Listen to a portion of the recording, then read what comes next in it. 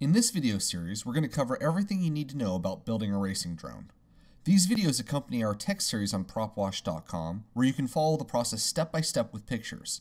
Links to all the relevant articles can be found in the description section of each of these videos.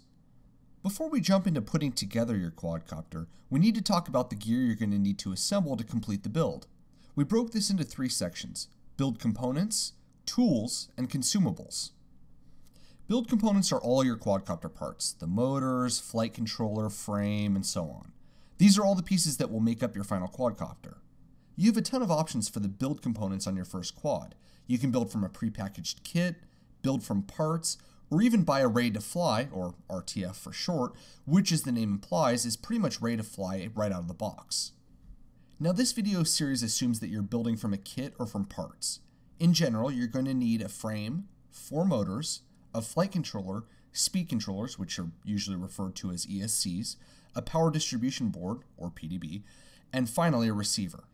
In addition, if you want to fly FPV, you'll need to add a video transmitter and camera to that list as well. To put all the pieces together, you're going to need some tools.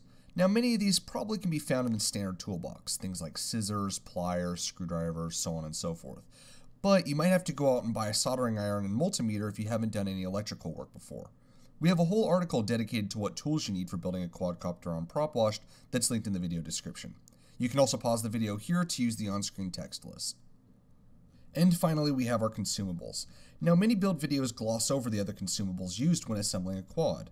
These are the extra odds and ends needed to secure and clean up your build. The tape, zip ties, extra wire, velcro, and so on. We put together a list on screen that you can pause and use for reference. Similarly, as mentioned before a few times, the text article has the full list that you can use when putting together a shopping list. We've stressed the written guide here because this video is more about preparation than building, which inevitably at this point means following a list. Having the right materials ready to go will make the process so much easier for both completing the build efficiently and for following the video series as we progress in the build. Next up, we'll start the build process by showing the frame and motor assembly. To watch the next video in the series, you can either watch the build playlist, check out the video description for links to all the uploaded parts, or click on the annotations on screen. We'll see you there.